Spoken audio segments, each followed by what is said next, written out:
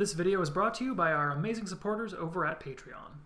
Hey everyone, it's Ben from Board to Bits, and we're about to start getting into this idea of being able to select levels and kind of sort through like what levels you have access to, and being able to start the game from a level that you choose.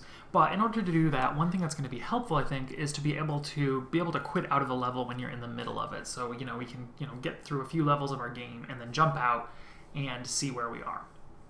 And so um, what I want to do here is just create a quick escape function so that we can say when we're in a level, hit a button and jump back to the main menu. It's not something we have in place yet, um, but it's pretty easy to implement. So we're going to do this inside of our level manager script because that is one that we know will exist when we're actually in our game space. So I'm going to open that up here in MonoDevelop.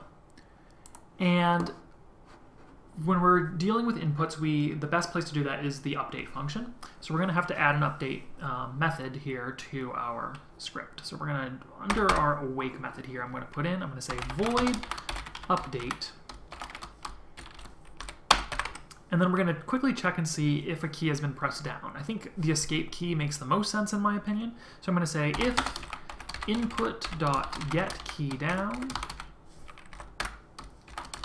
key code code dot escape, uh, no, escape, there we go. So if the escape key gets pressed down on this frame, then what we're going to do is we're going to call our scene loader, which is our handy static class that we created for doing all things scene related. We're going to load scene. We're going to say scene name dot main menu. So we'll just jump back there immediately. And so at any point in our game, we can hit escape and jump back there. This is like this is likewise how you would create something like a pause menu, where you would be able to say, you know, if whatever your pause button gets pressed, kind of hold everything, and then the code in here would say to load up whatever pause screen you have, um, do things like that. So the other thing we have to be careful of, though, is that now what we're doing is we're exiting the scene, and you may recall that down in our end level script, this was how we were ending the level before, and we were doing so with this um, on level end method. We were do calling an event here, and um, but we what the important thing we did was we actually unsubscribed from a couple of events that this particular method had subscribed to, and so we want to make sure we're doing that again. Otherwise, what will happen is the next time we load this scene, it may try to set up some stuff that isn't actually it no longer exists and it's going to throw an error for our game. So I'm just going to, for now, I'm just going to copy and paste that up here. And I'm going to say, before we load that scene, we're going to unsubscribe from those two things. And we may eventually create, you know, kind of a special method for that stuff, and there may be other things that we add in there. But for right now, I'm just going to copy and paste it. We've got that twice in there. I may even throw in here a to-do.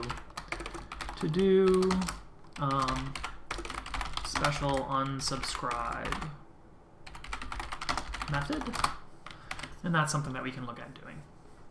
So with that in place, this is actually, like I say, pretty quick, about uh, four lines of real code here. Now what we can do is we go back to our game. If I hit play, start up our level, I can move around the level as normal, but then if I hit escape, we just jump back to our simple game here. I start up again, I'm back at the level. I can move on to the next level, and once again I can hit escape, jump right back start up. Now I'm still at this level because we are tracking our progress, but I'm able, like I say, to jump back to our main menu where now we can, you know, now that I've moved a couple levels ahead, I could look and see, you know, what my level select screen looks like, see what my options are, things like that.